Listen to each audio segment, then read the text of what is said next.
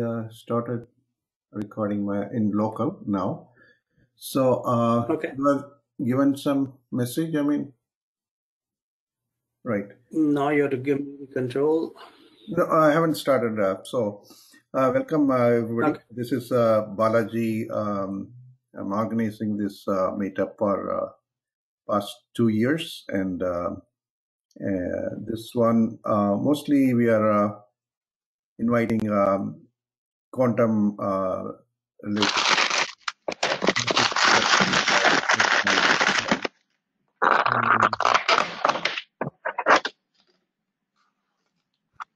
Uh, we have uh, Virendra, he's an advisor for our uh, and uh, VGG, uh, Dr. Veselin also, um, is attend our. Uh, so those are, uh, and also Venkatesh, uh, he also, I think, um, joined. Um, uh, they're one of the panels uh, of meetup, and we have around 700 um, members. Uh, I I will post the link uh, meetup join uh, for further um, future uh, talks, and also I will send the recordings to you if you join our meetup. Um, so I'll hand over the um, to Virendra now. He will uh, take it from here. Yeah.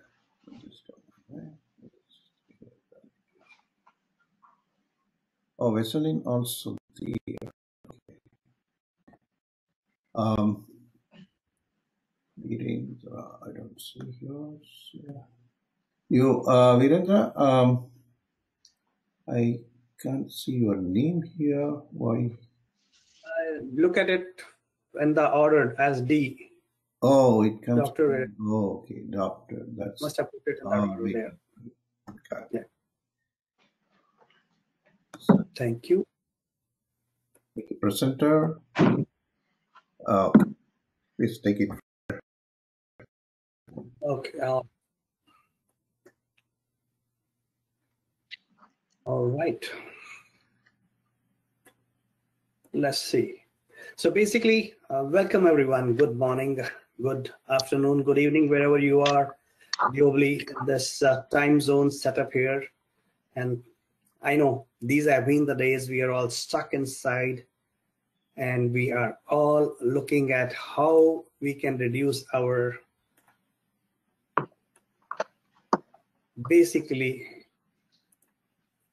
so much of screen time. So I will not take very long. I know we are all looking at this new spectrum, which John is going to share with us in terms of how a Raspberry kind of can be simulated to use for quantum computing.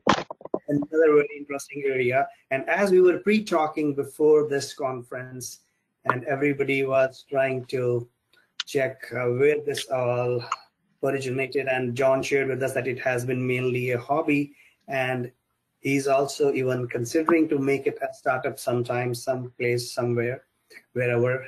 Right now he's in germany and he has been traveling very often to san francisco area interacting with the ibm folks here and ibm folks globally. So from that angle i thought it could be a good segue for just two minutes to share with you all. And how many of you are into that mindset where you are right now with an enterprise or looking to do a startup. That's where I thought Oracle is offering for you to be part of that ecosystem where you could be part of the Oracle's Market Connect as you do the startup for the path to your enterprise. How can you basically make and use all this as a lever and leverage those uh, interesting avenues basically for customer engagements to have a proper team interaction and even to look for your marketing and even exposures.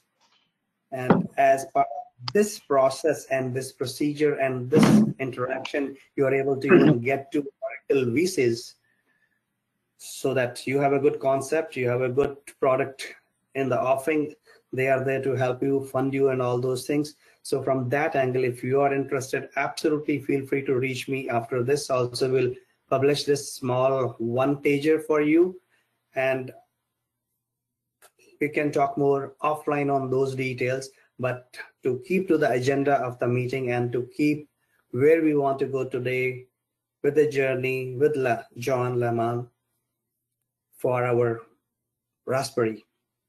I would like to give control over to John and definitely as things happen and we all look for where we can move forward from there, I thought this could be a good connect as well for you guys. So with that over back to you, Bala.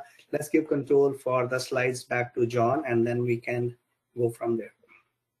Thank you for the introduction, uh, Dr. Virendra.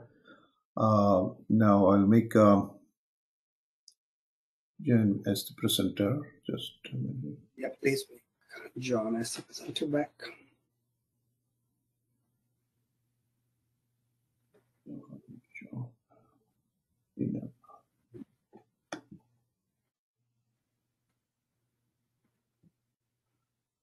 Yes, John, I give the control to you. Yes, perfect. John, floor is all yours. Please take it away. Yeah, thanks a lot, Virendra. Uh, thanks a lot, Balaji, for the invite to this meetup.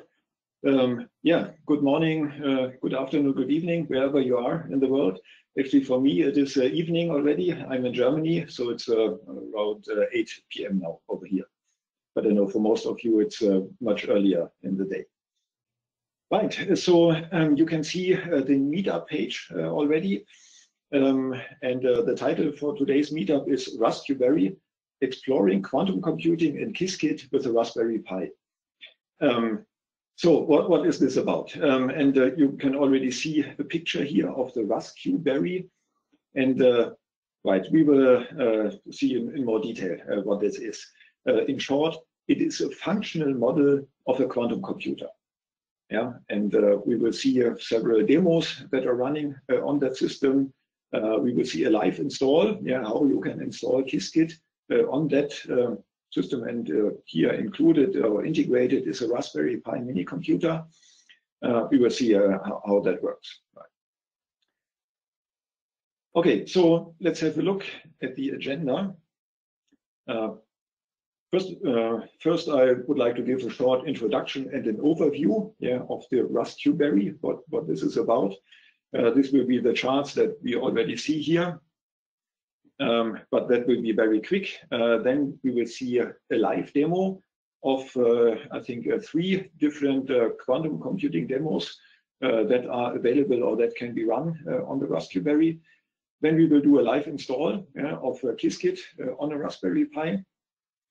Um, then have a look or a closer look at the 3D model. Yeah, I mean, you have seen the picture already, and uh, that model is uh, 3D printed, and all the information is available that you need to print that with your own uh, 3D printer. Um, then we will have a look at the GitHub repository.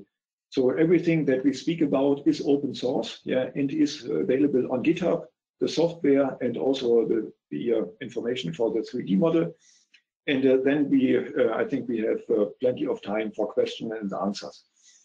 Um, if you have questions during the presentation, yeah, then please unmute yourself.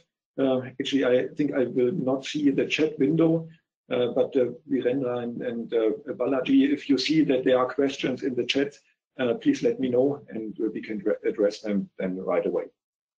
Absolutely, we will. Okay, so then uh, let's it. Let's get started with a quick overview uh, of RasQberry, uh, and then uh, dive into the demo and, and stuff. Okay, so I already mentioned that the RasQberry is a functional model of a quantum computer, and uh, as you can, as you have uh, seen, the housing looks very similar to the IBM Q System One. Yeah, the lower picture here that is the original IBM quantum computer. Uh, and up here, uh, that is the RasQberry. And you see it looks uh, very similar. Uh, the dimensions are very different. Um, so the uh, uh, original Q System 1, um, I mean, I, I measure in, in, meters and centimeters. So it's like three times three meters. That is around, I think, seven to 10 feet. Yeah. So that, that are the, the physical dimensions of the Q system one. and this little model, um, right? So I mean, I if I hold it up here, then then you have an impression of how how big that is or how small it is, right? It's uh, actually a, a, little bit bigger uh, than the Raspberry Pi, because the Raspberry needs to fit in here. Um, okay, so and uh, on the Raspberry, um, there is a, you can install a Qiskit, the IBM open source quantum computing software framework, and that Qiskit includes a quantum computing simulator. Yeah, that, that that runs locally on the Raspberry Pi, so inside of this model. Um, and Qiskit also allows you to access uh, the real IBM quantum computers on the cloud. Yeah. Okay, so basically uh, uh, these are the, the capabilities. Then, ah, sorry, uh, on this chart, uh, you already see uh, the URL that would take you to the GitHub page. That's rasqberry.org. Um, and I mean, the name, I think it's pretty obvious because it is based on a Raspberry Pi, but then we had to bring the Q in, yeah, so it is RasQberry and .org for, for the GitHub repository. Okay, brief overview of the main components. Yeah, it is based, as, as mentioned, on Qiskit, yeah, the IBM open source quantum computing software framework, the Raspberry Pi uh, single board or the Raspberry Pi mini computer. Um, you might know uh, that uh, there are different versions of uh, the Raspberry Pi. Uh, typically, we use uh, the Raspberry Pi Model 4 which is around, uh, let's say, between 40 and 90 US dollars. Um, actually, the smallest version, this uh, two gigabyte RAM, uh, is uh, sufficient, at least for all the demos that, that I have run so far. Um, we also tried it on uh, uh, smaller versions of the Raspberry. it also works on a Raspberry Zero, but then it is not that responsive here, and also the install will take a much longer than. Okay, and uh, then we have this uh, 3D printed housing. We will have a look at that in much more detail later. Uh, that um, is uh, made out of uh, roughly 10 uh, individual pieces to, to assemble that. Okay, these are the main components. then a quick preview um, of the installation procedure. So if you connect to the Raspberry, yeah, then exactly three commands are needed to install Qiskit uh, and uh, uh, be able to install the demos on that Raspberry. Yeah, and we will do that live later. And the total install, it varies. Um, it takes between, let's say, 10 and, and 20 minutes. Yeah, until Qiskit is installed with all of the Qiskit elements. For those of you who, who know Qiskit, yeah, with uh, all, all Qiskit modules, yeah, that uh, can be installed in roughly 20 minutes uh, on Raspberry Pi version 4. Um, and then we have um, um, a menu, um, a command line uh, menu that is uh, very similar to the RASP config. Yeah, for those of you who know Raspberry Pi, uh, there's a standard uh, configuration tool. It's called RASP config. And we have modified that. Uh, and you can see it here. It looks very similar to the RASP config. We call it then RasQberry config, obviously. Uh, and with this menu, you can install, for example, Qiskit uh, and start and uh, also install and start and stop uh, the various demos uh, that we have on that system there. Okay, we will uh, skip the next slide. That is about the hardware setup. We will see that later. And right, so here we see some pictures and also screenshots. Um, so this is uh, uh, the view from, from the back where you can see the four inch uh, touch display with the wallpaper. There are some desktop icons which are used to start the individual demos. And then we have here, for example, the uh, circuit composer, yeah, the IBM Quantum Composer, uh, which is a web-based application. Yeah, and of course, you can use that in the web browser and on your laptop but it also runs uh, on the RasQberry, and, you can use it there. Uh, then we have uh, an interactive visualization of the Bloch sphere, yeah, which runs on the touch display. And uh, then there are several demos um, that uh, use not the touch display, but instead a Sense HAT display. Um, you might know that uh, to the on the Raspberry Pi, you can attach um, either HD, either uh, these uh, touch displays or such an it is called Sense HAT. It's an eight times eight LED uh, matrix display, and it also includes uh, some additional sensors, which we actually do not use yet for the RasQberry, uh, but we use this eight times eight display. And so here is a, a model, yeah, very similar, but uh, instead of the touch display, we have integrated this Sense HAT display. And also for the Sense HAT, there are uh, uh, two different demos or quantum computing demos available uh, that can be used. Yeah. And uh, okay, that was a, a quick overview. And uh, here on that uh, last page, again, you see the URL for the GitHub page. and then there's another URL, which maybe I share both in the chat window. Second.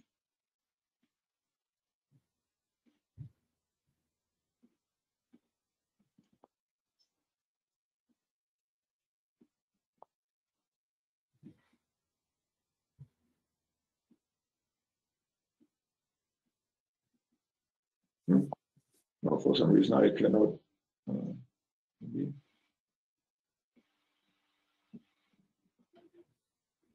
John, are you speaking? Yes. So I am trying to share something in the chat window. Okay, so no, sorry, that does not work. Oh, maybe I will get to that later. Okay, so I uh, I cannot uh, copy and paste uh, to the chat window but uh, we will share. So yeah. We will share. We will share the. Now it works. Okay, so uh, that is the URL that gets you to the uh, uh GitHub uh, project page, and uh, there is a Slack workspace. I will show that one later. Oh, I can do it now. I will also share that. there's a that is actually the Qiskit Slack workspace, and there's a channel. Maybe I show that right away. Um, so there's a, a Qiskit um, Slack workspace where people discuss about uh, Qiskit. And there is uh, one channel which, which, is called Qiskit on Raspberry. Uh, and that is the channel where we discuss about the RasQberry. Yeah, and the URL uh, that I just uh, shared uh, that um, gets you to an invite so that you can join the Qiskit um, Slack workspace. Hey, John, can I interrupt right here for one second? Sure. So the simple question I have is, I know these are very important URLs and Raspberry processor obviously is not a very expensive thing. When it comes to quantum computer, we are all used to hearing that they are the most expensive computers on the planet. But uh, yeah. this kind of thing, if one has to get started, uh, would any of these URLs be helpful? Or uh, is there any other way, or you'll be sharing something more as part of that discussion going forward? If someone gets yeah. into wants to get into this kind of hobby like you have developed such an interesting piece and uh, if someone wants to go that path. Yes. Right. So uh, thanks a lot Virendra, uh, for the question. Um, we will look uh, at the github page and on that github page uh, basically all the information is uh, right so i see the first people who joined the slack workspace that is great. Um, so on the github page all the information is available uh, for you uh, to build your own RasQberry and also a bit of material. So you, you will see uh, what components are needed. Um, and in total, so all of the components, it is roughly about $200. Yeah. And wow. I mean, you, you are right. Yeah. So clearly, that is not uh, that is uh, uh, much less than for a real quantum computer. And that's why we say that this is a functional model of a quantum computer. Yeah? It's not a real quantum computer. So you will not be able to achieve quantum advantage yeah, with a Raspberry Pi. That, that's for sure. Yeah, that's basically to understand concept and uh, how that thing functions. Yeah, right. And uh, I mean, uh, so as, as mentioned, uh, this is really about in, introduction to quantum computing. Yeah, for people to uh, start uh, exploring quantum computing, to have a look at the first demos yeah, around superposition, interference, entanglement, and so on. Um, and uh, right, uh, so so I think for for that uh, purpose, it is very well suited. uh, but not uh, for really a high-end research or really um, bringing research forward yeah, around quantum computing. Yeah, and uh, just a small comment and a chuckle. Uh, our Dr. VGG is also with us. He has been our force to basically shared with us as we started this group about a couple of years ago, as Balaji mentioned. And he was giving us all the concepts of quantum mechanics, quantum physics, which are sometimes yeah. helpful to get moving in this area. So VGG, this could be a good idea to set up some startup with functional model of uh, Raspberry and uh, open something like more teaching kind of arrangement with the help of these computers. Just a thought. I thought I'll share it with you. Go, go. Please carry on further, John. Okay. Yeah. Thank you. Thank you, okay. Uh, yes, this is very interesting concept and idea. And uh, I just joined the channel on the IBM Qiskit uh, for, for the developments. Yeah, yeah, I know you have been aspiring to come up with some such arrangement. This could be a very good startup. Mm -hmm. Yes, we can talk about that and we will stay in touch. Absolutely. And hopefully now, uh, when the economy is opening by July 4th, hopefully, yeah. if we reach 17% uh, uh, immunizations. yeah. Yeah. Okay, Back right. So let's uh, have a look at the uh, uh, at the live demo. So we will have a look at uh, three different examples, three different demos, and so I will connect. Um, so this window that you see here that is a remote connection, a VNC connection, so that we basically see what is displayed on the TFT display, on the touch display, on the Raspberry, right? Uh, because I, I, think that is better uh, to, to view uh, than if I just uh, hold up uh, the real model. Okay, right. Um, the first demo, uh, we have already seen a screenshot of that. that is the Bloch sphere demo, yeah, an interactive visualization of the Bloch sphere. Um, so here on the uh, uh, touchscreen display, there are several icons. Um, and if you click that, so now I do that with a mouse, but you can also use that uh, with the uh, stylus, yeah, with, with a pen on the, on the real touch display. So let's start this demo. We can go into full screen mode here uh, with that icon.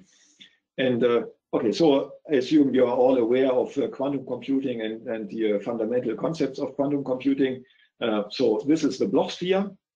Um, actually, that is a demo that a colleague of mine has uh, developed. That is uh, by James Weaver, um, who's also a, a Qiskit advocate.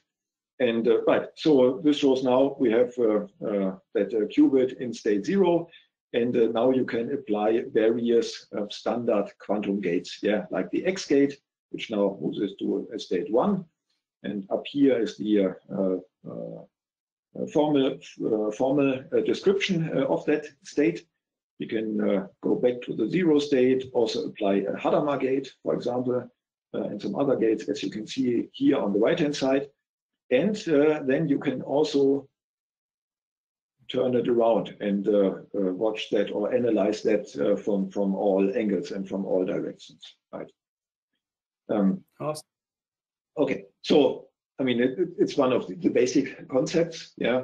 And for for people who are who get in contact with quantum computing for the first time, yeah, or if you are at a, a, a fair or a demo point yeah, and discussing with people, I think that that is a good trigger, yeah, to to trigger discussions and and have the first conversation about quantum computing. Right. Okay, yeah, so that is the uh, uh, visualization of the Bloch sphere. Uh, with this icon, uh, you can go, uh, you can exit uh, the full screen mode and then right, close the Chromium browser, and we are back to to that to the desktop interface. Okay, that, that was the, the, first demo. the next one, let's have a look at the Quantum Composer. Um, you might know uh, on the IBM um, quantum computing website, uh, there is this graphical composer, yeah, where you can, uh, with a drag and drop, assemble quantum circuits. So let's start that one. It is uh, again web-based and will start uh, Chromium in full screen mode. And uh, because the, the, the touch screen display is only four inch, yeah, which is very small. Uh, I mean, the, the, the website is uh, responsive, yeah, but uh, not really made for, for four inch displays. so we have to clean up this a little bit, yeah, and, and deselect some of the elements. So I remove basically everything except the graphical editor. Uh, and also here we can say collapse uh, the gates, then we have a bit more space. And now we have the uh, typical interface uh, with, uh, in this case, uh, three qubits. you can you can reduce the number of qubits or also add additional qubits. And then with drag and drop, you can create quantum circuits like this one, the Bell state, or the GHZ state. Yeah? Um, and then uh, after we have uh, created this, um, we can uh, switch maybe uh, also to the Q sphere display, or maybe the, the measurement probabilities. Right, so what we have uh, created was the GHZ state, yeah, which is an equal superposition of 0, 0, 0 and 1, 1, 1.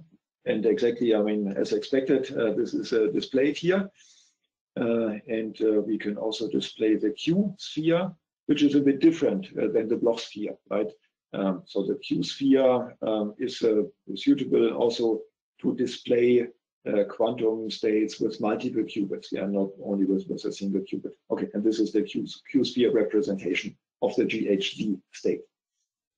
Um, now we are using uh, this one uh, without uh, being logged in. Yeah. Uh, so you do not need to sign in. You do not need an ID uh, for the IBM quantum computing website to use this demo. We go back to the graphical editor. Um, but uh, you can also sign in with your ID. Yeah, and for that, you can either, as I do now, being connected with VNC or with an SSH connection, uh, or you could connect a Bluetooth display to the Raspberry, yeah, so that you can use a display to, to enter the information. Uh, so then you can sign in uh, to that uh, website and uh, many different uh, forms of IDs are good to log in here. So obviously an IBM ID, but I think also a Twitter ID, um, Google ID, everything, basically everything will work yeah, to, to log in here. Uh, and then uh, this uh, menu here gets enabled and then you can really run these circuits either on a, a, quantum computing simulator or also on the real quantum computers on the IBM cloud. Yeah. And uh, if you run it on the real quantum computers, uh, I mean, that is a, there's a certain batch uh, queue. So it will take between a couple of seconds and a couple of minutes before the, re the results are, are returned and, and can be displayed. Okay, so that is uh, the second demo, yeah, this uh, graphical circuit composer. And now there's the, the first uh, like a, a, a trick uh, that you need uh, to, to exit the full screen mode of Chromium. Um, and uh, that, that is a bit tricky. Um, and actually, if you move to the first pixel row, then, at least most of the time, then this X uh, appears here. Yeah, and that lets you exit the full screen mode. It took me a bit of time to, to figure that out. Yeah? And uh, in particular, if you use, uh, if you do not use the VNC display, so remotely connected, uh, but uh, try to do that uh, really on the touch screen display. Um, actually, I, I, had an issue because it was not possible with the with the pen to to kind of trigger the first pixel row, yeah, somehow the, the, the display is uh, kind of blind, yeah, for, for touch on, on the first pixel row. Um, so the, the, solution that we found was uh, that we uh, calibrated uh, the touch display in a very special way, uh, so that you do not need to uh, actually hit the, the first pixel row, but one of the other pixel rows a, a bit lower, and that this already triggers this this uh, uh, X icon, yeah, so that you can exit the full screen mode. Okay, but uh, now uh, that that works. Um, okay, and uh, we we can close that. Good. Um, right. Uh, so so that was uh, the second demo, and uh, now the uh, third demo. I will connect to a different one.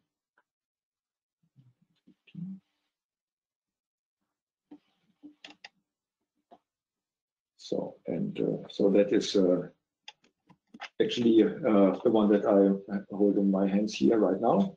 Uh, and uh, so what you can see here in the uh, VNC, so in the remote um, desktop, that is exactly what we have here now on, on, on that display.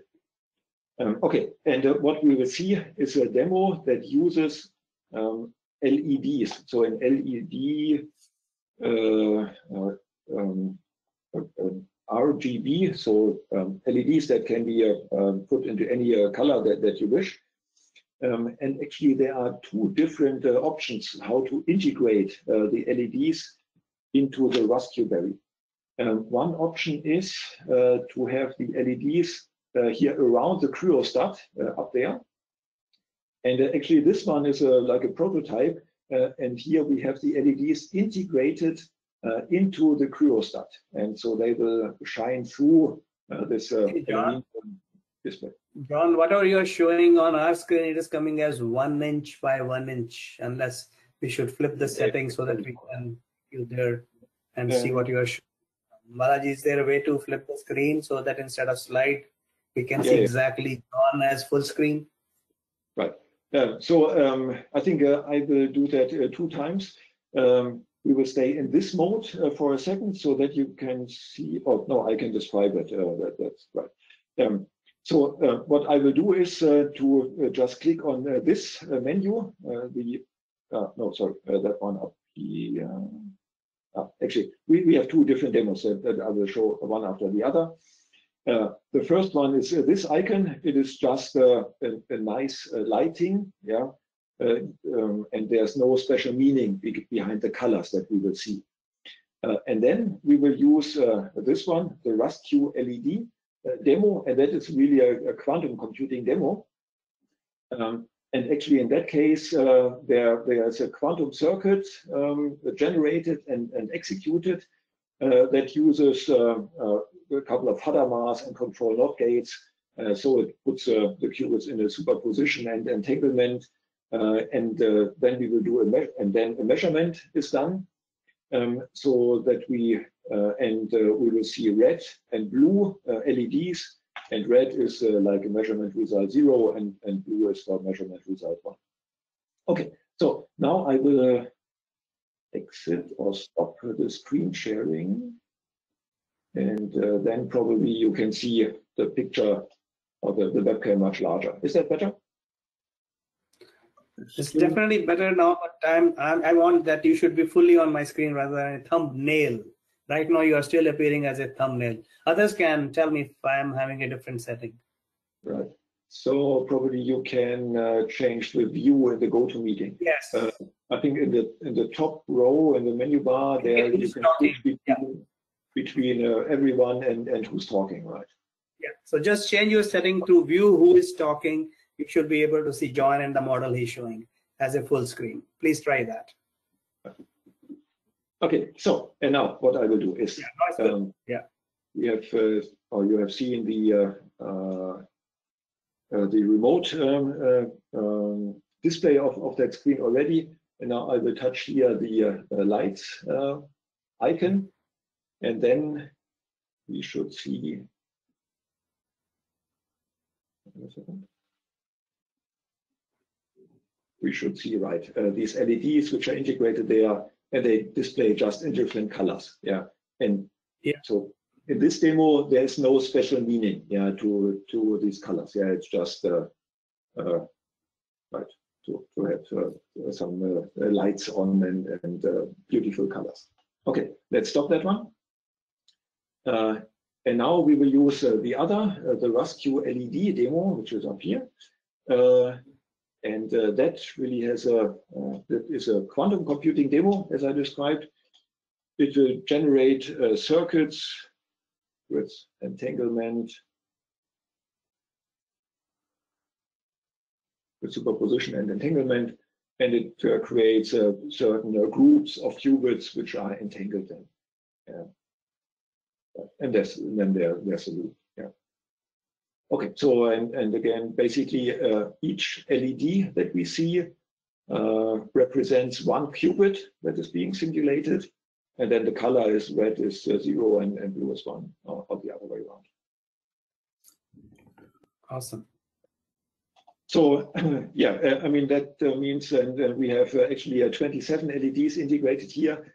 So you might know that the um, high-end processors of the Q system one, the latest generation that has 27 qubits, right? So that's the reason why we have 27 LEDs here. Um, and uh, right, so I mean, you could uh, think about other uh, demos, yeah, that also use these LEDs to display the status of other like quantum circuits. Okay. So let me go back to screen sharing.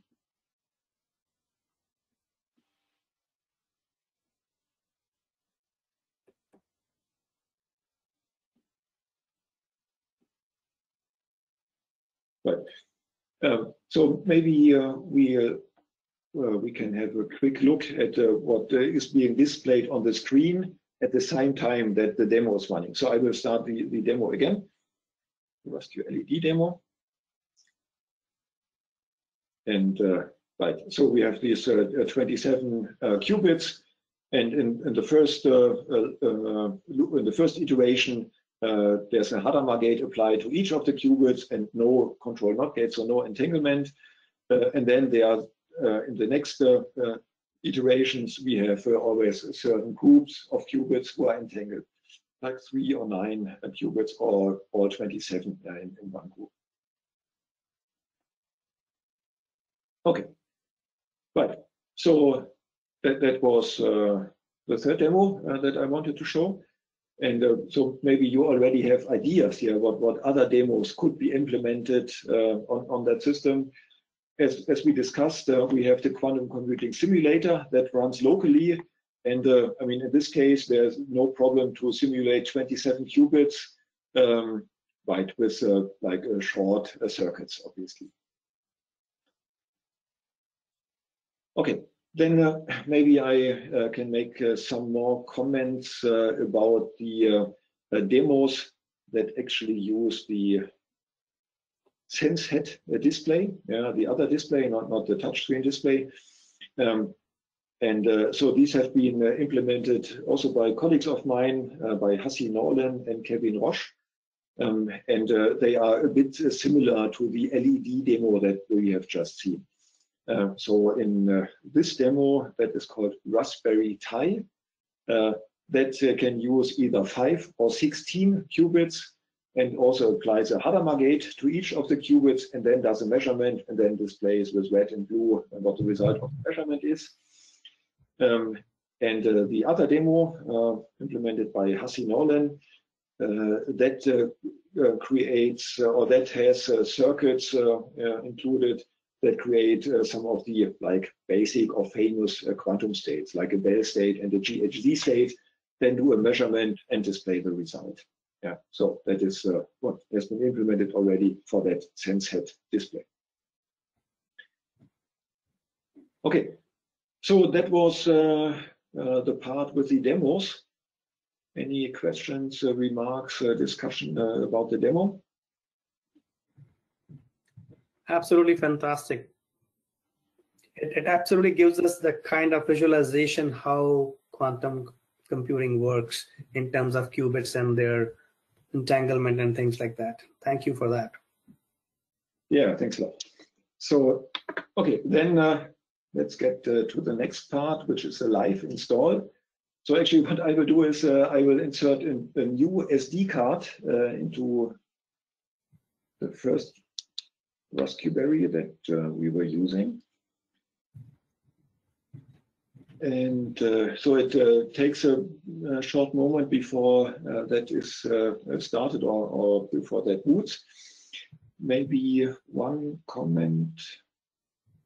Um, so uh, what you need uh, in addition to the Raspberry Pi mini computer is an SD card, obviously. Yeah, basically that is the hard drive of, of the Raspberry.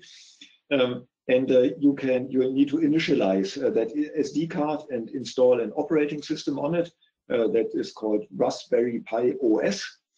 And uh, this tool here is called Raspberry Pi Imager. Yeah, that is all described on the website uh, on the GitHub page that, that we will see later. Uh, and what we use is just the standard version. Yeah, that is the standard desktop version of Raspberry Pi OS, the 32-bit version. So that needs to be uh, written onto that um, SD card. That's what, what I did already. Then insert the SD card into the Raspberry uh, and then connect uh, to it uh, with SSH. And actually, uh, I need to it needs another second. Uh, so we need I need to install the SSH keys there.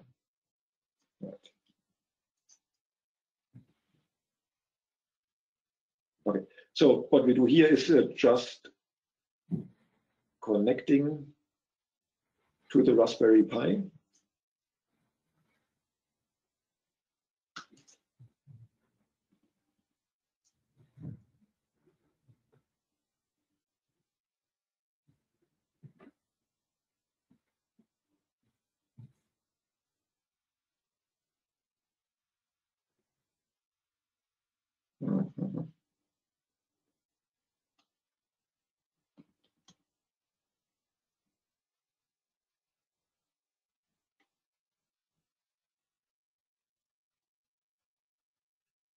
So, so for some reason, let's see.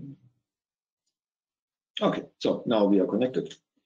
Uh, so what I did is was what is just to log in to that uh, fresh Raspberry Pi, yeah, with the fresh SD card. And uh, now what we need to do is uh, described on the GitHub page and also here. Uh, we these uh, three commands so the first command is uh, to download a, a script uh, or to install a, a, program that is called getgist. Um, Gist is actually a part of uh, GitHub, and you can you can uh, like place uh, small scripts there uh, and, and share them, and that is actually how we um, or where the Bootstrap script for the Raspberry is located. Okay, so let's start. So just wanted to confirm one question was here, uh, John, which was uh, LED lights are necessary or they are primary, primarily ornamental. I thought that was mainly for visual depiction, but you can confirm that as well. Okay, uh, sorry, I, I did not get the question. Could, could you repeat? The question was that the demo which you gave earlier with the LED lights, that was mainly for the visual depiction of the states and all? Yes, yes. Yeah. That's what I respond. Yeah, please carry on. Okay, so first we install this, this uh, getgist. And uh, then we use uh, this uh, script, the getgist, uh, to download the bootstrap script for Raspberry. And uh, that is actually in my gist repository and it is called rasq init.sh. Okay, and uh, now this uh, script, I mean, everything is open source. Yeah, you, you can have a look at that, uh, and uh, that is probably a good idea before you execute that on, on your system.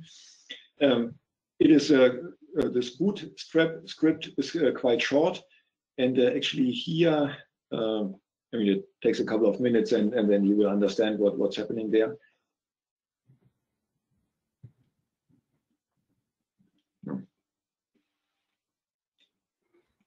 And uh, so normally it is enough uh, just to um, execute this rasq init script. And actually in my case, I will use a special like branch uh, of the GitHub re repository that is the development branch. Yeah, we we will use that one. Okay. And uh, Right. So now we executed this bootstrap script. Basically, it downloads the whole RasQberry GitHub repository and then starts this uh, uh, configuration menu, the RasQberry config. Okay, so in there uh, we go into the, the setup menu first. do, there's a very uh, small initial configuration which, which sets the path variables, variable and uh, things like that. And uh, then we can already go to install Qiskit. Yeah, you see the, the menus that I select. Uh, and there you can choose between different versions. Actually, the first one uh, that we managed to install on the Raspberry is the Qiskit version 0.19, and the uh, current version is 0.25. And right, so we can we can now uh, select this menu, and then uh, uh, a script is executed that installs Qiskit, the latest version, with all of the components. And yeah, we will see how long that takes. It should be between 10 and 20 minutes. Okay, so maybe uh, while that uh, executes, we can have a look at the uh, uh, script that actually uh, gets executed. Um, so first of all, we will have a look at the at the script that implements this menu that we have seen. Yeah, the RasQberry config, this command line menu. And uh, as mentioned, uh, that is uh, implemented basically with the, the same approach as the raspi-config tool, which is the standard configuration tool on, on the Raspberry. So maybe uh, let's go to the end of that file. I will slow down in a second. It's. So exactly. Um, so if you can read uh, these lines here, uh, that is exactly the definition of the menu that we have just seen. Yeah. Uh, so that here was the first menu entry, the initial configuration, and then and then we selected this one, the install Qiskit. Um, and down here, you can see uh, uh, basically what other uh, function then gets executed. It's the Raspberry install Qiskit. Actually, uh, that is uh, this menu then where we could choose uh, between the different versions. And we have chosen the, the Qiskit version 0.25. and then this function here gets executed. And uh, we can now search in that file. And uh, so this is the code uh, that gets executed. First, we need to install additional operating system packages, uh, two of them, uh, and then execute another shell script, which actually actually contains the code uh, to install the Qiskit 0.25. And we can have a look at that over here. and uh, that again is uh, uh, quite simple and, and very much straightforward. Um, actually, when we installed the older version, the 0.19, uh, that was way more complicated and we had to do a lot more like uh, tweaks and, and tricks uh, to, to manage to install Qiskit on a Raspberry Pi. But in the meantime, that, that works really very, very well. Um, we just need to install uh, some uh, Python packages, yeah, some, some dependencies with uh, specific versions, uh, and then uh, the standard pip install Qiskit, basically. Yeah, that is the command that, that uh, we need to execute. All the others here, the, the ones in green, are not necessary anymore. Um, and I mean, th this is basically the, the, standard approach, how you would install Qiskit also on a, on a Linux-based system or, or on the Mac. Okay. So let's have a look um, again to the uh, SSH uh, window. And uh, right, so now uh, it, uh, it has installed uh, the um, Linux packages already that we have seen before. And now here it installs, as you can see, the LLVM Lite, which is actually this step here. Yeah, so it will take another couple of minutes before Qiskit is installed. Okay, any questions, uh, comments about the uh, Qiskit install? Yeah, and as mentioned, uh, uh all of this is described in the And uh, actually, that is uh, what we will look at next. Okay. No so, questions on the chat. Nothing. Carry on. Okay. Thanks. That's good. So then let's have a look at the uh, GitHub page. Yeah. Uh, so this is uh, the URL that I shared earlier, the rasqberry.org. Uh, that takes you here to, to the GitHub. And uh, yeah, let, let's have a brief uh, look at that. Um, and right, so as a description of what rustqberry is, some pictures here, uh, then also these uh, three commands that I executed yeah, to install Qiskit. Uh, that is, of course, listed here. Um, then screenshots of these command line menus. And then uh, here it gets interesting. Now, this is uh, the uh, information about the 3D model. And that is actually located in a second GitHub repository. Uh, we will open that in a second. And uh, right, so here you can see uh, such a construction drawing of the different parts that the, the 3D printing is, is made of. Okay, so let's have a look now at the uh, repository where uh, the uh, STL files, so all the files that are needed for 3D printing are located. Um, so, right, uh, here in this uh, uh, directory STL, these are the STL files, yeah, uh, and that is needed for a 3D printer. Yeah, that is, uh, uh, maybe you can compare to a, a, PDF file, yeah, that is needed for printing a document, and STL is the corresponding format format that is needed to print something on a, a 3D printer. Mm. Um, that is a complete package. Awesome.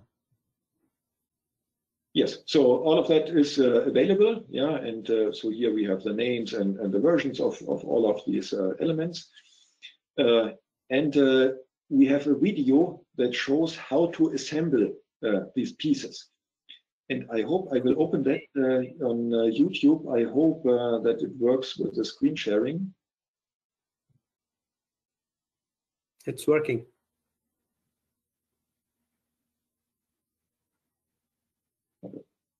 So is that URL included there for the YouTube as well? Yes, um, I will show it uh, again in a second where you find that, that video. And it is like a one minute yeah, that shows how to assemble these pieces.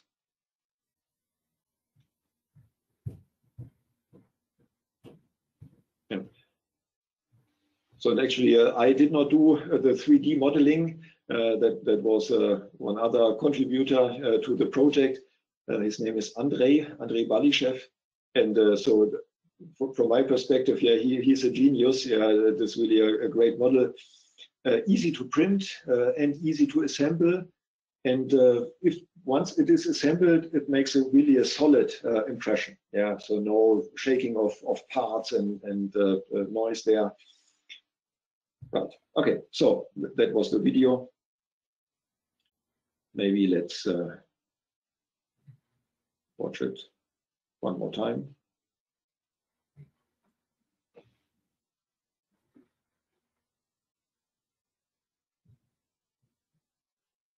And most parts are just printed with black uh, filament. Uh, just that one part that you see in white, uh, we use white filament for that. Uh, so that the LEDs, yeah, if you place the LEDs above the cryostat, that they will shine through. Um, and the cryostat, yeah, there are different ideas. Um, so normally I print that also with white filament and then use some silver uh, uh, tape yeah, and wrap it around that to, to look nice.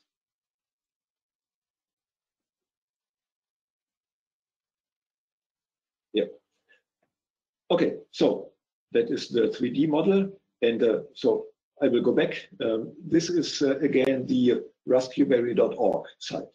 And if you scroll down on that site, you will find here the information about the 3D model. Then what I did was to open uh, this URL, yeah, that gets you to the other uh, GitHub repository with the enclosure. That is now this one. And uh, on if you scroll down on that side, actually this picture uh, has a hyperlink uh, to the to the YouTube video. Yeah, that, that's how we got there. Thank you.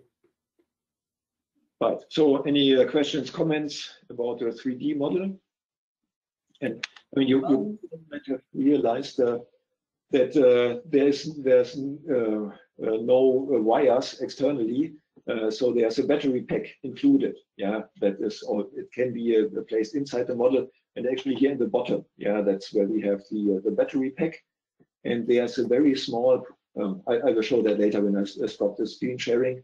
there's a, a, a, small hole in the on the side where a USB connector uh, fits in so that you can charge the battery pack yeah, without uh, uh, disassembling the, the, whole thing here. Just one comment there, John. It's a complete end-to-end package. Awesome. yeah. yeah, thanks a lot. It's purely like uh, plug and play is even uh, more than that. It's like just push buttons and get things done. Yeah. Uh, Right. Uh, I mean, it, uh, takes some time and uh, needs uh, some uh, learning curve Yeah, if you did not do any 3D printing yet. Um, and uh, right, so I stopped the screen sharing so that we can see that. hopefully, if you go back to that presenter view, um, yeah, I hope you can see that. So here, there, there's this little hole, and if you have the the same battery pack as, as we have here, then this directly uh, goes to the, uh, the, the plug-in or the uh, the charging connector. Yeah. Um, right. And then I mean, this uh, model is without a glass, uh, but we also have the option to have a complete uh, acrylic glass there. So this one is with glass around it. And uh, then, of course, uh, you can use a laser engraver uh, to engrave a logo, in this case, the IBM logo, but you can also use another one like the, the Qiskit logo also in this on, on the acrylic glass. Okay, and sure that can be seen well. Uh, John, they are trying to see where is the Raspberry Pi installed in the unit. Yes, uh, the Raspberry Pi is uh, here in that uh, back body. I can.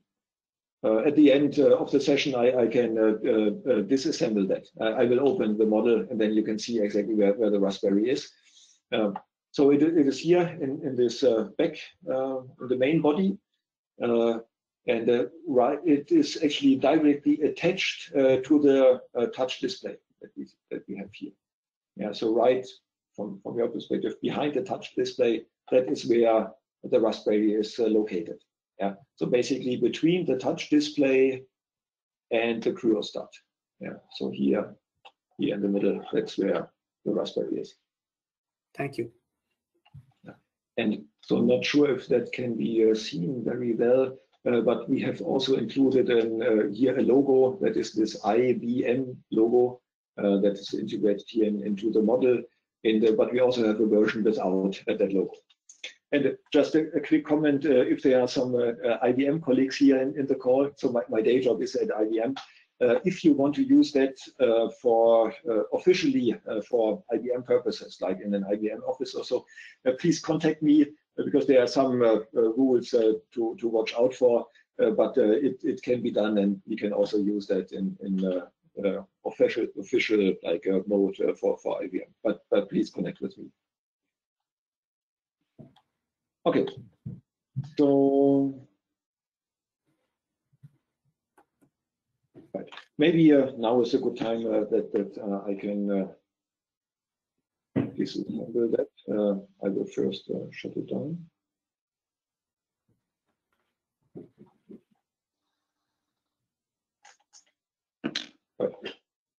So I did not do that before. I hope that that will work.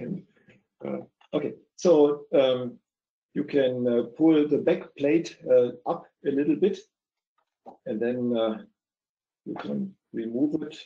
Yeah, and now you can see where the Raspberry Yeah, so the, the green one, yeah, that is the Raspberry Pi, and that is directly attached to the touchscreen display, right? Uh, and then there are the cables that you see. Uh, one is uh, for the uh, battery pack that is uh, down here. Uh, and the other cables, uh, they, they go to, uh, obviously, to, uh, to the LEDs, yeah, which are integrated into the cryostat. and then there's some additional cabling. And actually, we have integrated a fan yeah, as a cooling for the CPU that is also connected and, and powered. So, so John, the next curiosity question is, I know this has been used for some of the demos as you shared with us, this project, but any other projects which you have run on this model so far? Right. Um, so, I mean, what we do or what, what we use it for um, is uh, for this education. Yeah. And actually the That's demo, right. the, the, demos that we have seen, that is what we run there. Yeah. Um, and uh, I mean, the uh, the processor of the Raspberry Pi is not as powerful as a typical laptop processor.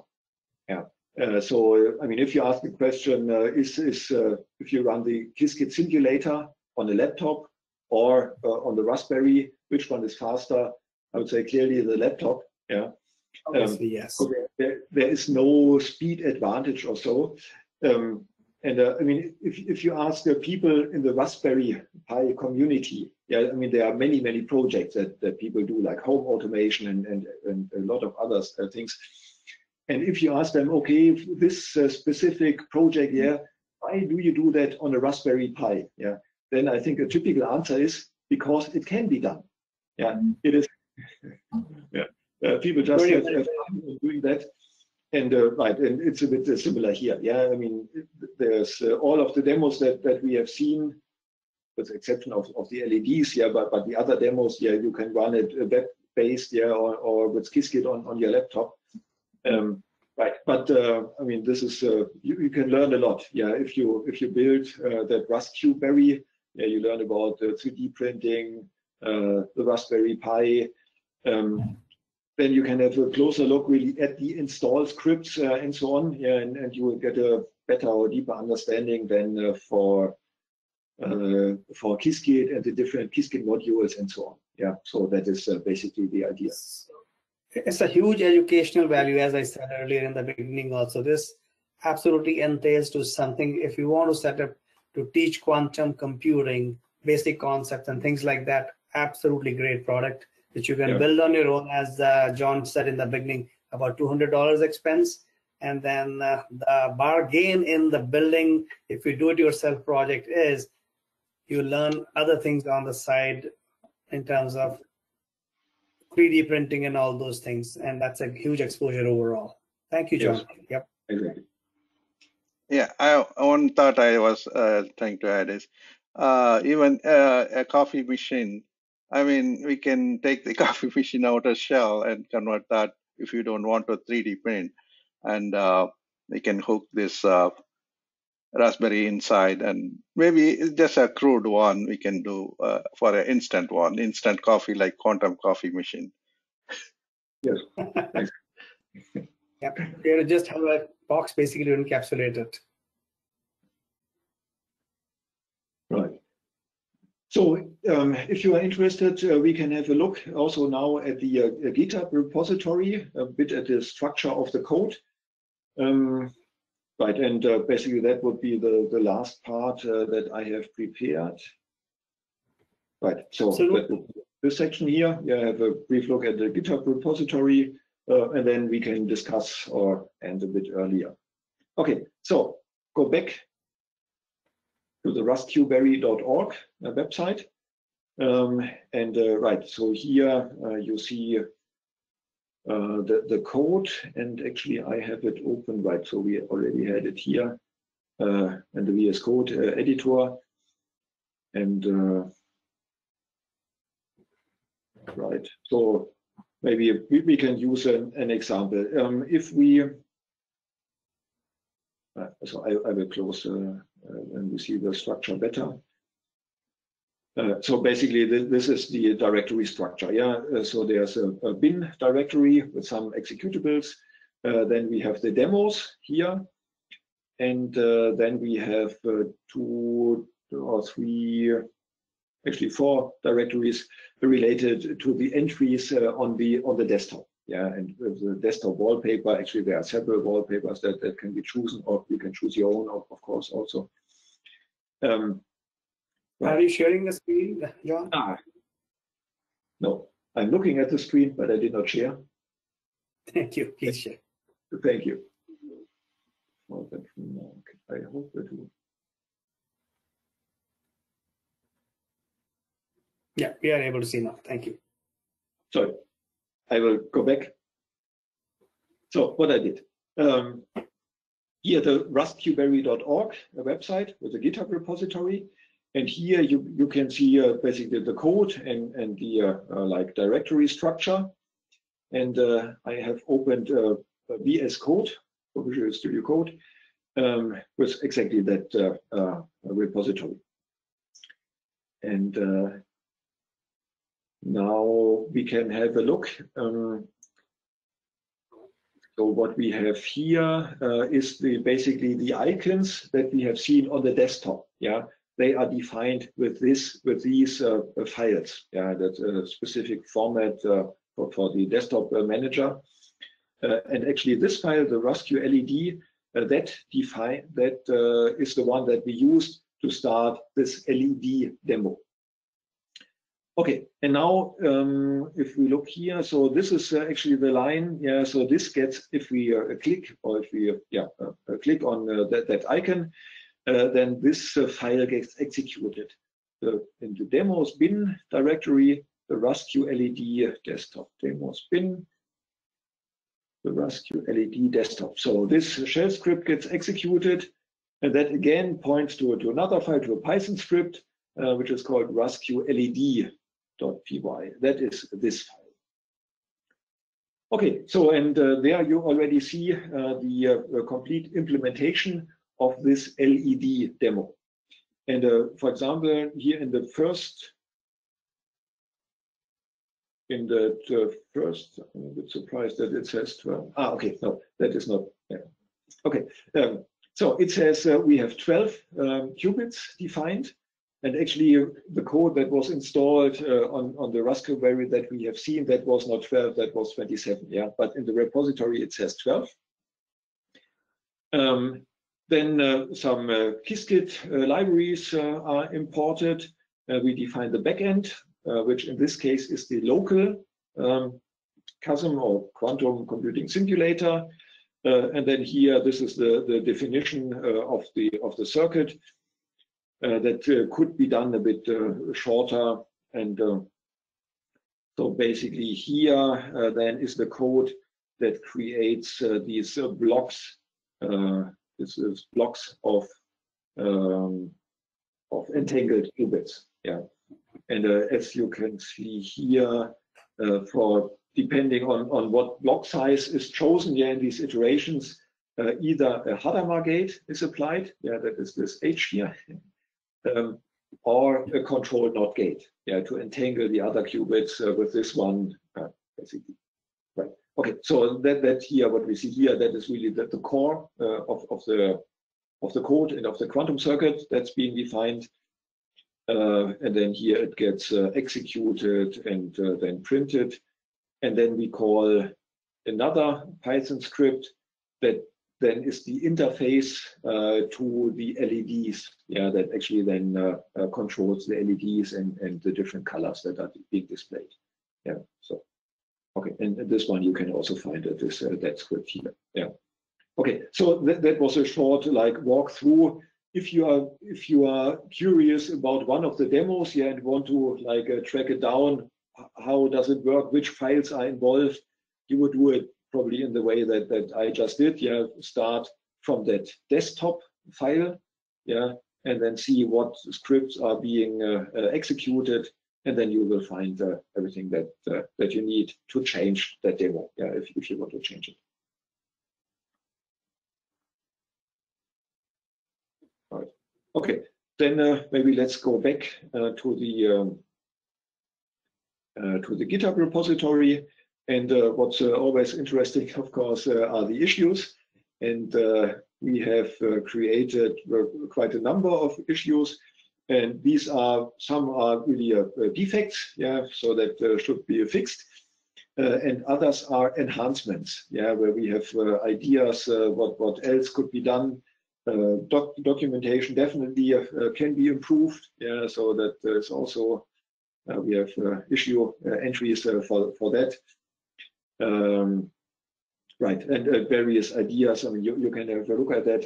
And if you are interested and have some spare time to, to contribute, uh, maybe you can start with those ones that have the label good first issue. Yeah, these are the ones where we think, okay, uh, that is uh, really uh, doable and does not uh, require too much time and uh, too much experience with, with the whole code in, in the repository. Yeah. Okay. So yes, I think basically that that's it what I had prepared and uh, what I wanted to uh, show and, and to discuss. So now it's really up uh, for questions and, and comments uh, from your side. I think uh, this was a perfect end-to-end -end, a package description, demonstration, installation, and walkthrough with the code which you used from the cosmos of quantum computing and zooming in, zoom down was a very, very localized, smaller version to understand the basics of it, which is very fantastic. Congratulations on that, John. Thank you very much. Yeah, that was fantastic. Yeah. Any other questions or comments? I'm looking at the chat window if people have any.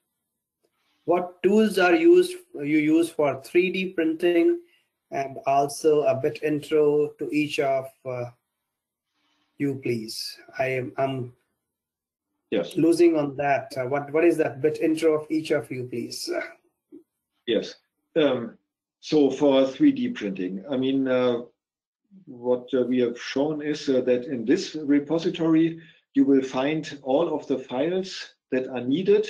Yeah, these are these STL files uh, that are needed if you want to, if you have a 3D printer and want to print uh, uh, that model uh, yourself. Um, I mean, if you do not have a 3D printer, uh, there then there are various uh, like websites and services on, on the internet where you can upload STL files and then they do the printing for you and, and, and ship the model to you. Um, actually, I have no experience with that. Um, so, but that, that is a, standard way that, that you could do.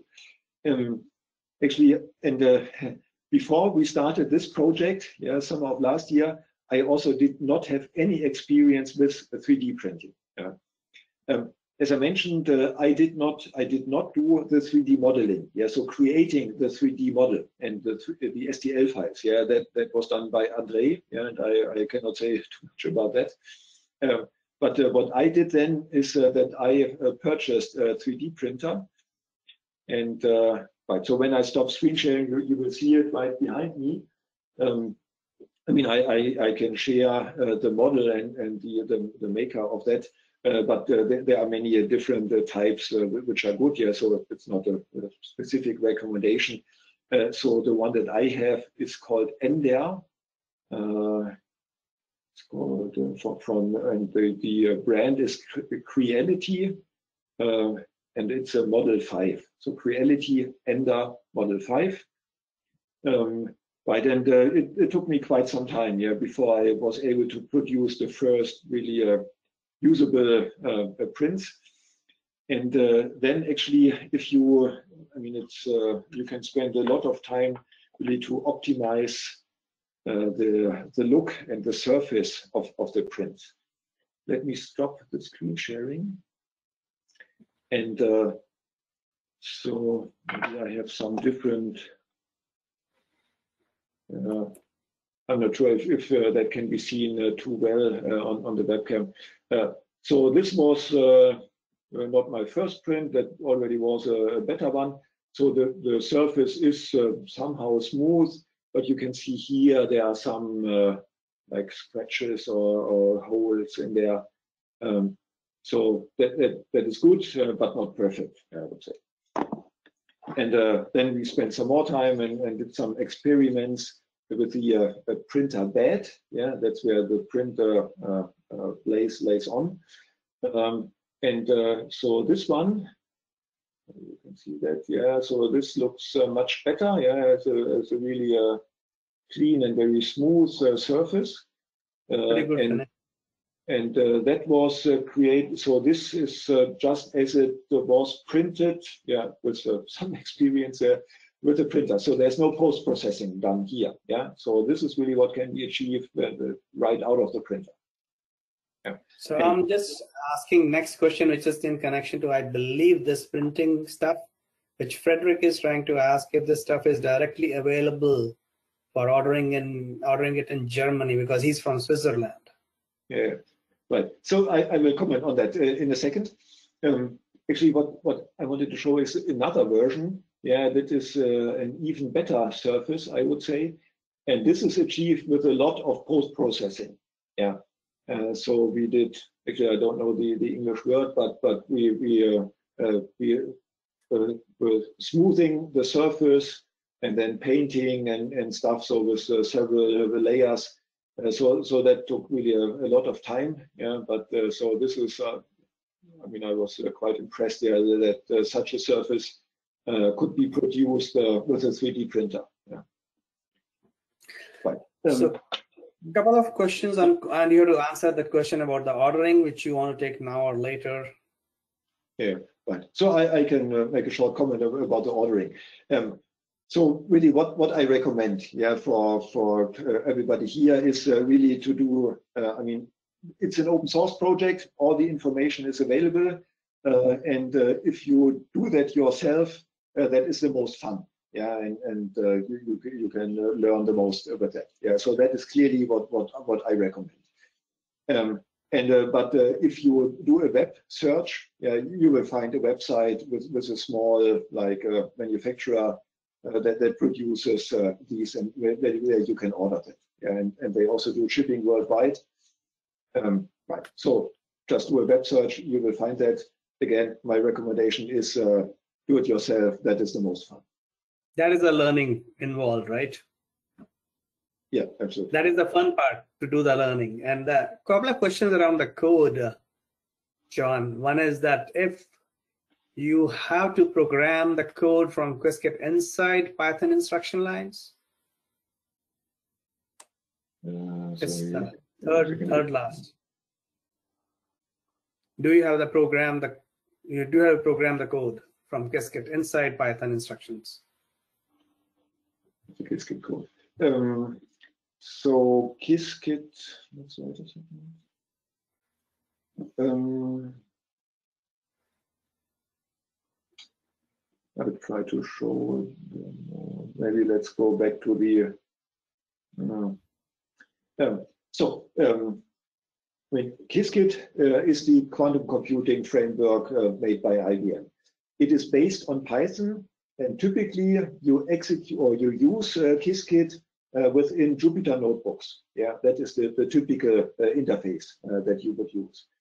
and instead of the Jupyter notebooks, uh, you can also write Python scripts. Yeah. Uh, and then you include the Qiskit code, which is uh, based on Python, yeah, within that Python script. Yeah. So I'm assuming that .jy file which you were using, they were all um, Python code. So, uh, sorry, could you say that again?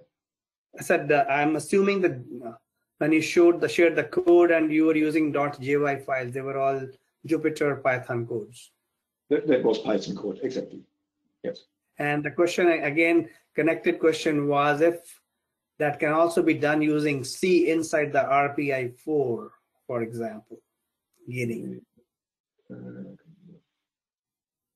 right.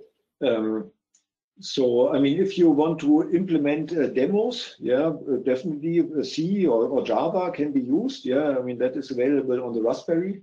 Uh, the question then is, uh, how do you connect uh, between the, the other environments like C or, or Java to to Qiskit, yeah, and to the, to the quantum side. Um, and so I, I would uh, think that uh, really for, for the quantum part, uh, probably you will use uh, Python and, and Qiskit. Uh, but if you want to implement like a like a, a, GUI, yeah, a, a graphical interface, uh, then you can do that in any language. Yeah, and basically all languages and, and all frameworks are available or can be used on the Raspberry Pi. Okay, thank you. I believe uh, definitely people are looking to have the link for the video you shared. I can And you that. can you can send it us later also. We can put it with the recording later also if it's not something you can search readily. Hmm. Any other questions? Uh, he has put the video link. So you have it in the chat, guys. The YouTube link. Thank you, John. the video. And uh, basically, uh, the, the starting point for, for all of that is the rasqberry.org. Yeah. From there, Yeah. uh, if you follow the, the URLs that are included on that page, you, you get uh, to all of the rest. And I think you did post the GitHub link earlier also. Yes, uh, let me do that again. So that is uh, this URL, the rasqberry.org. That will get you to the GitHub page uh, of the open source project. And I'm repeating your GitHub link, which someone is requesting again, and it's here.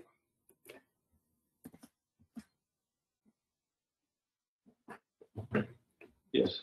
So that is the, the GitHub link. Uh, and in that GitHub file, uh, in that GitHub, there's a link included uh, to the other GitHub repository with the 3D uh, uh, files. And that is the one that I shared here now. That is the Raspberry enclosure. Yeah. But again, that that is uh, there's a there's a link uh, from the normal GitHub uh, to to that one. Yeah, you will find it. And definitely, Hi, I could- think I would give you a chance to to Could I, introduce could I ask, People for that introduction. And you have a question? Yeah, um, could you show the Slack channel slide again? Because I went to the Slack channel and signed up, but it didn't, well,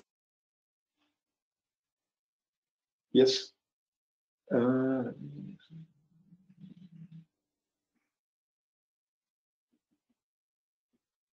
I will share that uh, again. One second.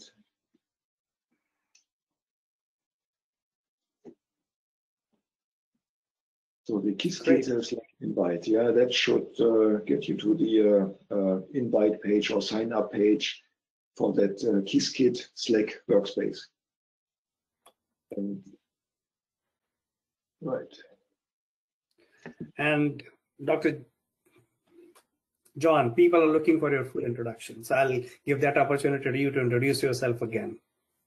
yes, okay, yeah, thanks a lot. Um, so yeah, I'm I'm Jan, uh, based in Germany. I live in Karlsruhe, in the southwest of Germany, one hour south of Frankfurt. And uh, yeah, my, my day job is at IBM. I'm an IBM distinguished engineer and uh, actually the IBM CTO for Lufthansa. Uh, so I'm the uh, IBM uh, architect for the channel, And, the uh, channel. what- What we If you're are, not speaking, can you please mute yourself? And John is speaking.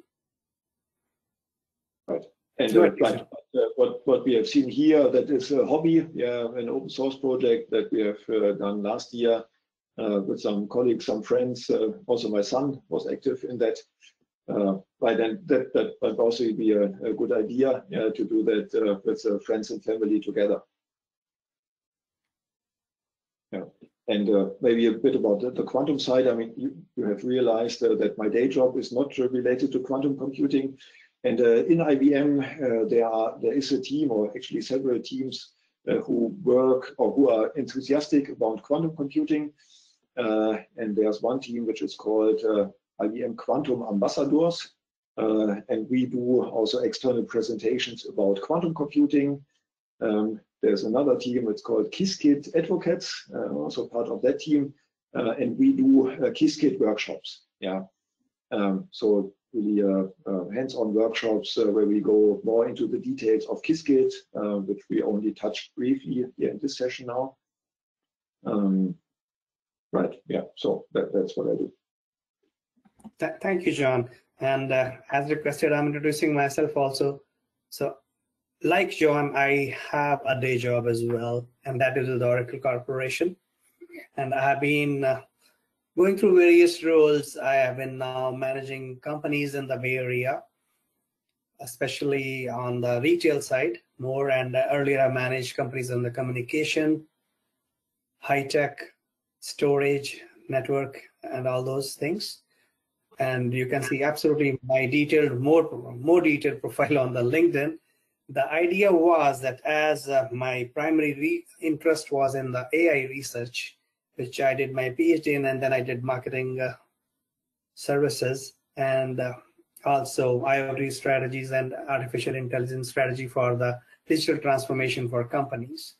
So that's when a uh, couple of years ago i came in touch with the group which is uh, uh, as Balaji explained in the beginning of the call, he started this Zen Quantum, and we had Professor VGG also with us, and we used to all interact together and see that uh, it was a common interest which developed through this group, and we started doing this uh, these different presentations, bringing together globally different presenters like John and other folks who could share their ideas and see quantum as the emerging technologies. And then the COVID thing happened last year. And as we saw, we were contemplating and checking how basically even COVID kind of situation could be solved faster using quantum techniques. As the field is into getting into maturity, but we all agree and we all used to discuss and we still discuss that AI and ML and all these techniques, they took 20 years to realize to this point because of uh, hardware storage and all these capabilities, which became cheaper and more robust so that people could go from CPU to GPU to TPUs. But all said and done with about 400 billion put into this uh, field by one the US government and the focus brought into quantum computing and some of the stuff now available and the researchers and the kind of facilities on GitHub and the open source thing, which was not available 20 years ago, everything was in single labs and individual labs versus what is happening today.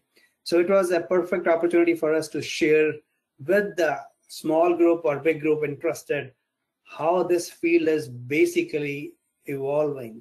And from that standpoint, we come together as and when we have a good presenter available, a good subject available, and a new idea available. And that's why I wanted to thank again John from that angle.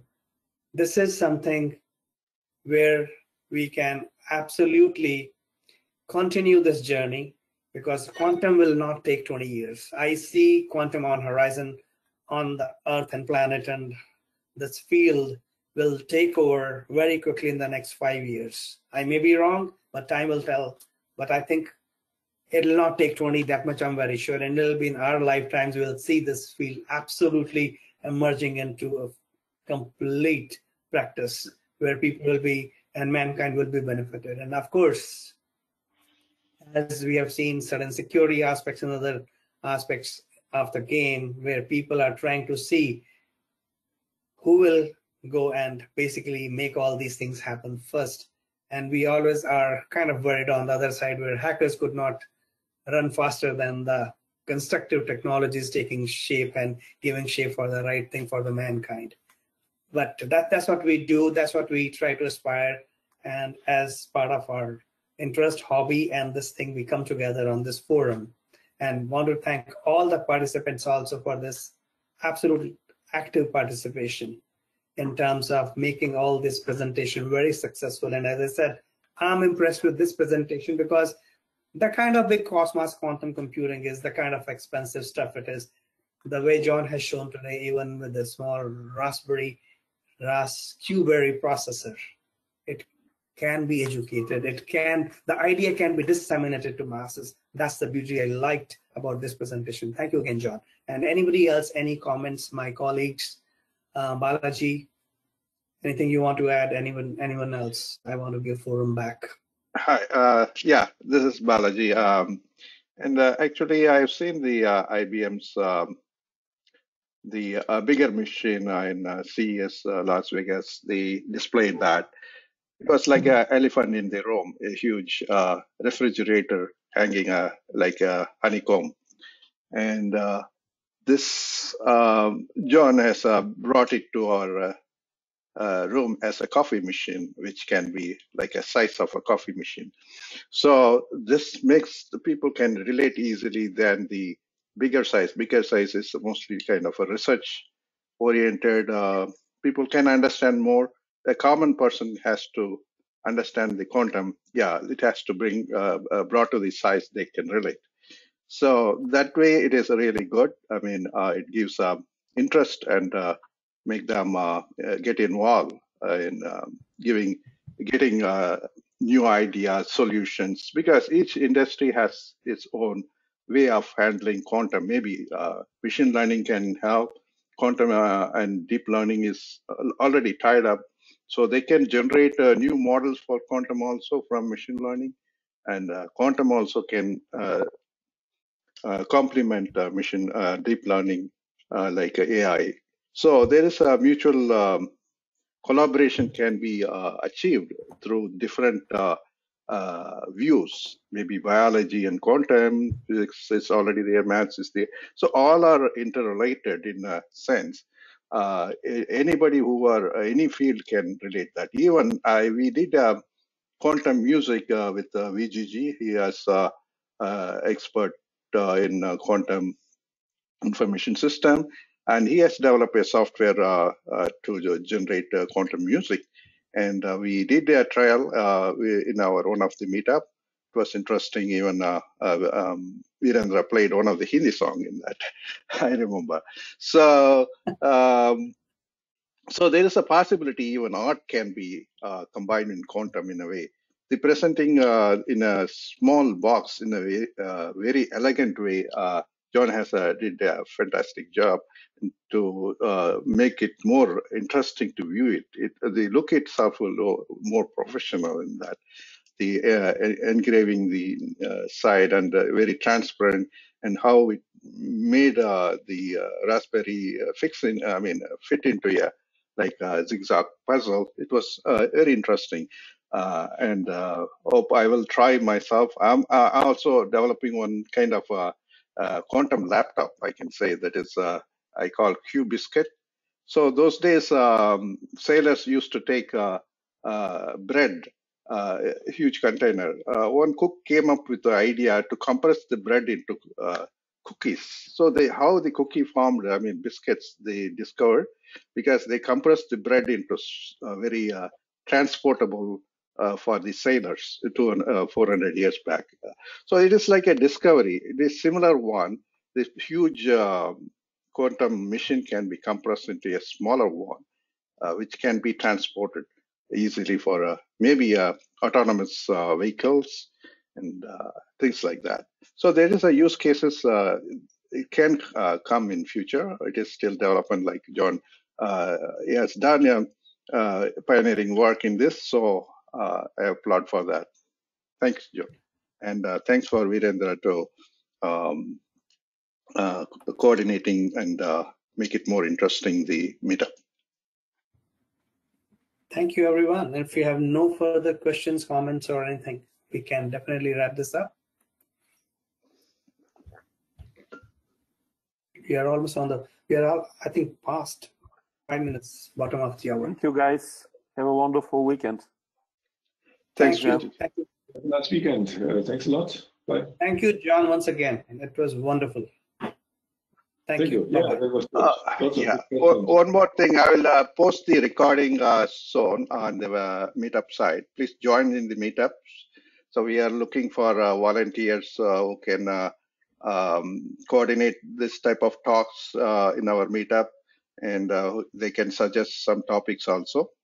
So if you anybody interested in projects like John is doing, we can get involved as a community and uh, help him uh, make it more better, um, reachable for everybody. So I'm expecting uh, everybody get involved. If you want to introduce it uh, with each other, we can do uh, networking now. If you want to uh, introduce yourself, we can so that we can build a community within ourselves. Anybody interested in to introduce, you can start your, I, I will unmute.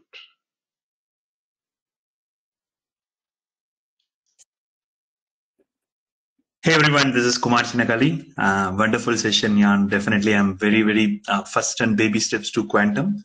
Uh, Zen for quantum is brilliant, and thank you very much. So I just valued this Saturday. Uh, I put up in um, uh, Thousand Oaks, California. I'm working for an, a very large pharma company to build a data lake. Are they talking about something on the POC and quantum is going to give a value and things like that? When I started reading about that, I said like, as uh, Virendra, Dr. Virendra said, it's not going to take a uh, long time of an uh, to be in a production like uh, either AI or cloud or things like it's going to be very very fast enough. Absolutely, thanks and hats off to your wonderful session. I'm looking forward more collaboration. Absolutely Yeah. welcome, Kumar. Thank you. Anyone else? And definitely we look forward to your participation and your active participation in terms of collaboration as well, bringing us new topics and more wonderful dissemination like this in terms of the subjects uh, on which you might be interested or hearing globally, locally, wherever, and bring it to the forum. We welcome everyone. Thank you. Definitely. Pleasure. Yes, my name is Oliver Erlbacher. Um, thank you all for this uh, interesting presentation. I'm from Germany and um, I'm working at Commerzbank. And um, for me, it is always interesting to hear the projects of um, the quantum computing. And I try to get more and more into this topic with the Qiskit Summer School, also from IBM. Mhm. And yeah, I'm open for for every different projects and to see the new things which is going on in this field. So yeah, thank you all for for this meeting. Thank Yeah, you. Right. So where are you located? Um, are you in Frankfurt Uh, I'm located so working in Frankfurt, but Okay, right yeah. now because of the virus in Bavaria, uh, in the near of Regensburg. Mhm. Yeah, great.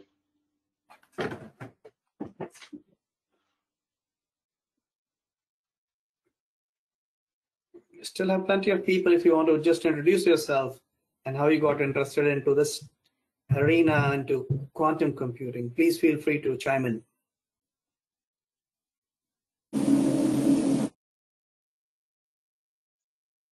SK, you are on mute if you're trying to share anything. Yeah, hi. Uh, my name is Sumit Kaul, and I am a, a student at Oxford University. Uh, I took some time off to, and I'm kind of um, writing a project in quantum computing security. And um, I mean, I've got some ideas, but the problem here is that most of the mathematics and other stuff has been done, except that um, it's not available yet on a scale that we currently require. And therefore lies my dilemma that how do I do something that's already been done? But uh, obviously, you know, um, and therefore I'm kind of involved in a lot of different um, quantum um, groups like these. And this is my first time at Quantum Zen, quite like your presentation today.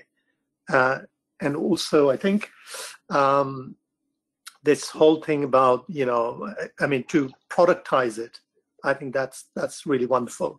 But then I've got some, you know, other ideas where, you know, quantum itself can be used, um, you know, in the field of, um, you know, not just security but other areas within the computing itself. Um, one question I wanted to ask you, Jen, is um, with regards to, um, uh, you know, while talking, I almost forgot my question. um, with regards to this, um, doing this on a, uh, you know, this uh, Raspberry Pi,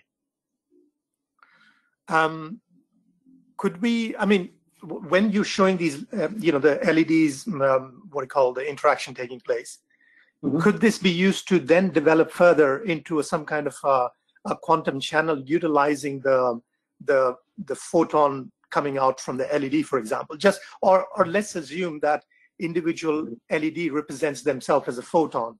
Would that be possibility or something like that? To create a, a some kind of a dummy channel just to demonstrate to people. Yes. Um, yes, I mean, uh, uh, we would have to look uh, closer into what is needed there, but uh, I mean, the, the LEDs are general purpose, yeah, and uh, so they could be used to, to illustrate uh, other aspects, yeah, also quantum channels, um, I, I think, yes. Um, and maybe one idea is that you could have two of these work together, yeah, so to have like a, a cluster yeah, or, or to uh, simulate both endpoints of a communication. Yeah. Great, thank you. That's all for me. Thank you. And uh, again, I'm happy to help out here. If you know, I'll be attending more of these events. So, you know, like Balaji said, if you want to volunteer, you know, I'm available. So, yeah. Awesome. Uh, uh, please send your email. I will reach out uh, after the um, uh, meeting. Yeah. Can I have your email in the chat? Yeah, put it in the chat. And Kumar posted a good idea here on the chat. If we should start a small LinkedIn group for this uh, Quantum Zen group, where people, volunteers, or whosoever wants to get involved, that will be a very good going. That can aggregate our efforts and uh, overall further pursuits which we are doing. I agree. Yeah.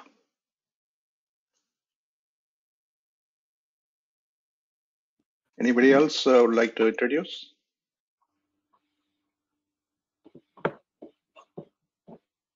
And as I said, that my day job does allow me to help you if you are really pursuing any good idea, AI, ML, or cloud, or quantum is yet to be adopted uh, at our company, but uh, still there are some prelim efforts. But uh, if we could use Raspberry for whatever purpose, I'm sure educational purpose. So there could be some initiative which may want to use some cloud in some form or the other. And Oracle Cloud definitely allows to help startups, and you, I can help you get connected with the right folks and the right product, as well as uh, our other teams at the company who can help you set up your stuff.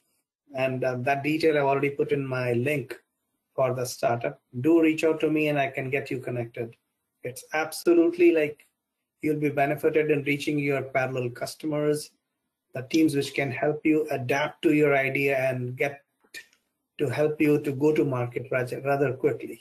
So, so that piece is part of the again, it's more of a hobby at my day job. It's not my main day job, but I, I do help my company identify those which are the real potential uh, groups uh, starting some new endeavor and efforts. And I'm more than happy to help you with that as well.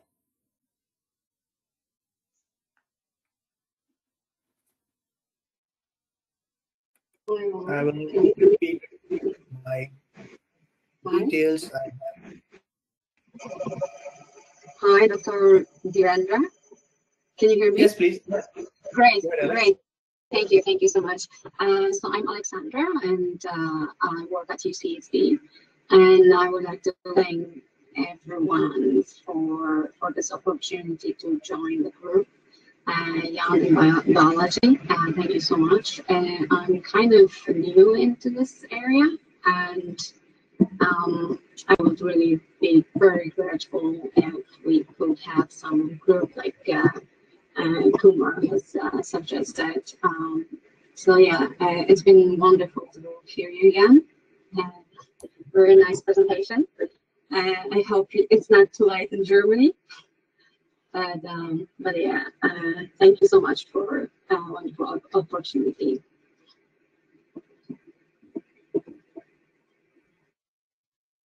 You're Absolutely. Thank you.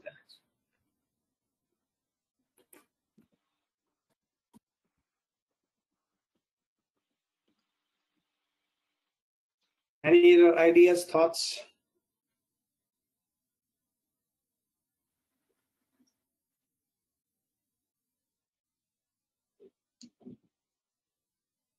So I think Balaji, we should wrap this up and let John take off for rest of the weekend as well.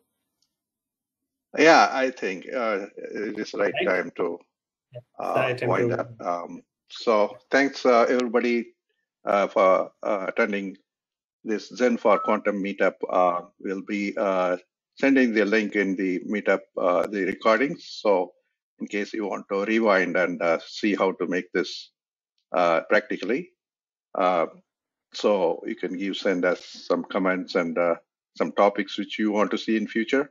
You can do that.